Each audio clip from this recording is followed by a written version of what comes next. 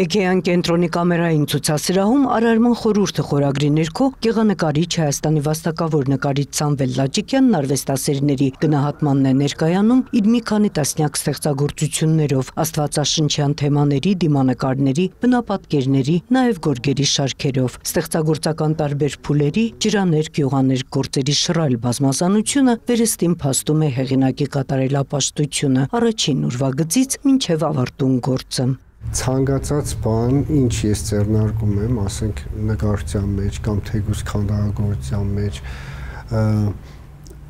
ցեկտել ստանալ կատարյալը ու դա հեշտությամբ չի տրվում իհարկե օրինակ ես հիշում եմ իմ դիմանկարներից ինքնադիմանկարներից մեկը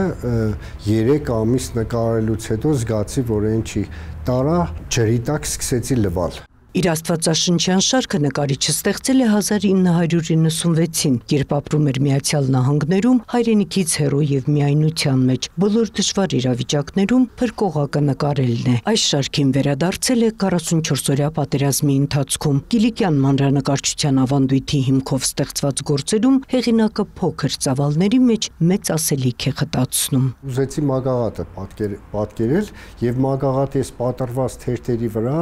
տեղավորել իմ ասելիքը. Անվանել եմ մուտք եւ Երուսաղեմի բնակիչներին չեմ նկարել պարզապես Քրիստոսն է նախքան մուտքը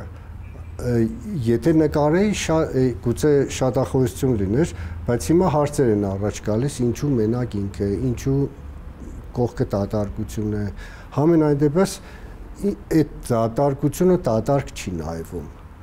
խորելու մտածելու տեղիք է տալիս Իր ոչ դյուրին ճանապարհին նկարիչն ամեն անգամ վարպետության ավելի բարձր նշաձող է սահմանել։ Հիշում է իր առաջին նատյուրմորտը Մերշեցին ներկայացնել Գյումրիում, քանի որ մասնագիտական կրթություն չուներ, մինչդեռ այն Մոսկովյան համամիութենական ցուցահանդեսում մեծ հաջողություն ունեցավ։ Նրա արվեստը շատ բարձր են գնահատել մեր մշակույթի մեծերը՝ Ռուբեն Զարյանը, Գրիգոր Խանջյանը, Լևոն Հախվերդյանը, Շահեն Խաչատրյանը։ Լաչիկյանի դիմանկարներում Ռուբեն Զարյանը հատկապես գնահատում էր մարդու անհատականությունը պատմությունը պատկերելու նկարչի տաղանդը։ Անհատական կերպարներ ստեղծելու շնորհը հատկապես ինքնորինակ դրսևորում է ստացել նրա գորգերի շարքում։ Միտք առաջացավ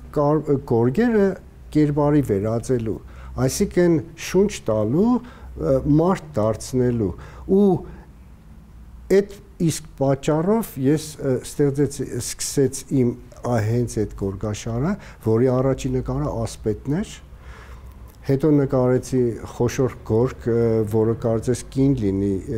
մանգան հետ նստած, անունը դրեցի Գյումրիի տիրամայր, ու այդ տիրամայրը փաթաթված է այն մեդաղյա ծողերով, որոնք ամբողջ քաղաքում լցված էին այդ թվերին։ 2023-ին գեղանկարիչը նշում է գործունեության 50 եւ ծննդյան 70 ամյակները։ Արարման խորհուրդը ցուցահանդեսին կհաջորդի մեծ, ընդգրկուն եւ հոբելյանական ցուցահանդեսը նկարիչների միությունում, ամբողջացնելով կեսդարյա ստեղծագործական փնտրտուքի ինքնակատարելագործման եւ արարման համապատկերը։ Նունե Ալեքսանյան, Արտակ Գևորգյան, լուրեր։